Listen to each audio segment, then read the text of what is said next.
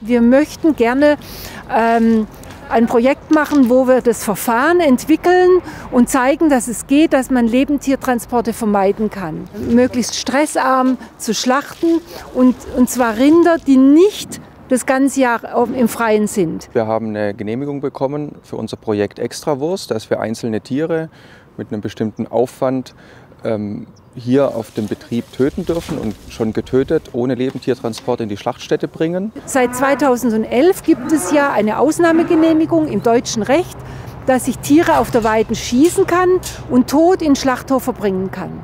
Und es kamen eben immer mehr Landwirte auf uns zu und gesagt haben, wir wollen das eigentlich auch für die anderen Rinder, die auch im Winter mal im Stall sind, wir wollen das auch machen. Der springende Punkt ist, dass die Tiere hier nicht mehr lebend auf einen Tiertransporter verladen werden, also auf einen kleinen Pkw-Anhänger, sondern dass die Tiere hier in ihrer Umgebung getötet werden können und dann eben tot in die Schlachtstätte kommen. Das ist der Unterschied. Also wir ersparen dem Tier, wir ersparen uns den Transport des Tieres, die Selektion des Tieres von der Gruppe, also aus der Herde heraus und den Aufenthalt im Schlachthof.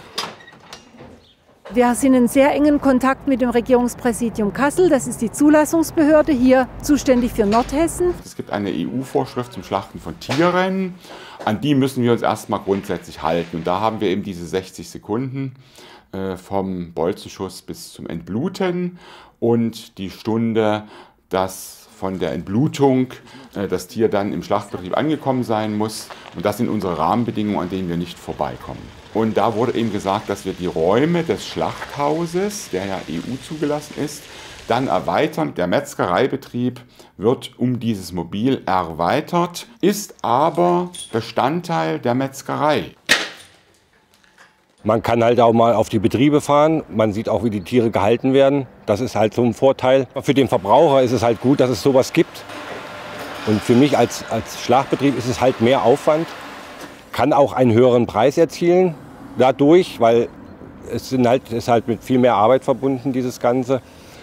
Und äh, ja, ja, ich sehe es halt eine Nische, macht nicht jeder.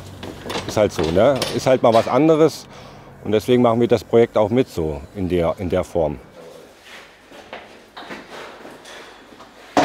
Ein wesentliches Ziel unseres Projektes ist ja nicht nur das Verfahren noch mal zu zeigen, dass es geht und die Technik zu entwickeln, sondern eben äh, Leitlinien zu entwickeln. Wenn es eine Möglichkeit gibt, dem Tier Angst, Stress, Leid zu ersparen, und das haben wir hier eben geschaffen, ähm, dann wollen wir den Weg gehen. Ich sehe eben Tierwohl bei den Kunden als ein ganz wichtiges Anliegen, ein ganz wichtiges Kriterium.